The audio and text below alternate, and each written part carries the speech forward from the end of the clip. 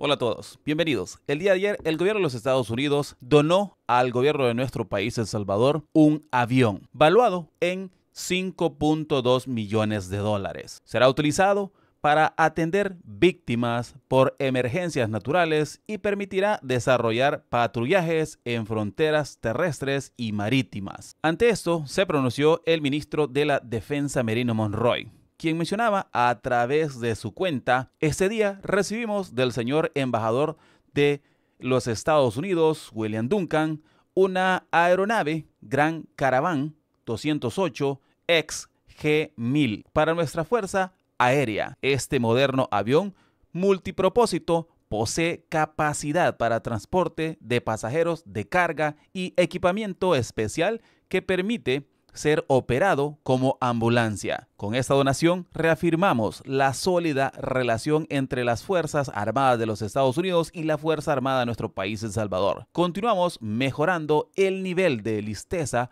operacional de la institución para servir eficientemente al pueblo salvadoreño. Acá las imágenes de el avión el cual fue donado. Ahí tienen estas son las imágenes y la manera a través de la cual puede ser utilizado acá el avión como una ambulancia, así como también eh, avión de carga y de transporte de personal. Así es que ahí lo tienen, ¿verdad? Eso fue el momento en el cual el embajador de los Estados Unidos en El Salvador hacía la entrega de este avión a el ministro de la Defensa Merino Monroy. Así es que ahí tienen las facilidades de este avión, el cual está valorado en 5.2 millones de dólares. Por su parte, la Embajada de los Estados Unidos también brindaba algunos detalles referente a la donación. Como podemos ver acá, Embajada de los Estados Unidos, como parte del trabajo conjunto entre Estados Unidos y El Salvador, ese día el embajador William Duncan entregó un avión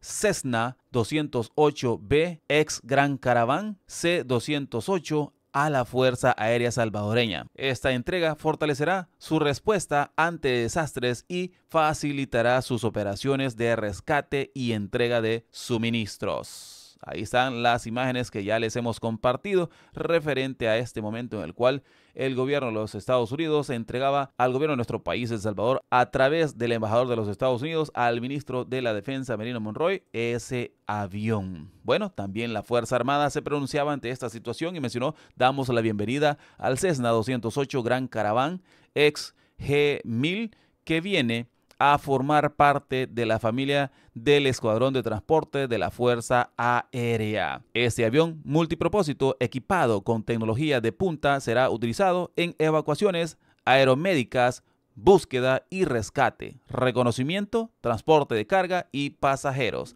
a la hora y en cualquier lugar. Ahí tenían, estas eran las declaraciones brindadas directamente por la Fuerza Armada. Así es que ahí tienen, esto es parte de la información. Si ustedes quieren conocer más de la información de lo que está ocurriendo en nuestro país, El Salvador, les invito en este preciso instante a poder ver los titulares. Que Dios me lo bendiga y nos vemos en una próxima edición. Bendiciones para todos. Hasta la próxima.